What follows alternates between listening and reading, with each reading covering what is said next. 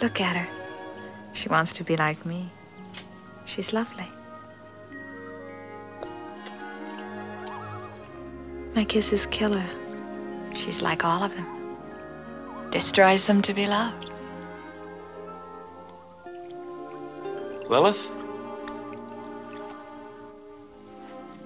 As a young child, uh, I wanted to be a writer. It uh, struck me as a very glamorous and easy and pleasant life. Little did I know.